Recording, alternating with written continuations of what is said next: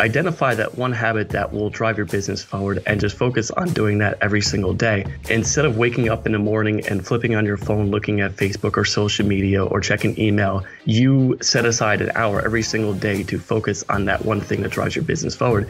and schedule that and just make, make an absolute certainty uh, that you commit to that every single day. Um, but beyond that, it really is just a matter of kind of identifying the things that you, you want life beyond just your business and just creating habits around that.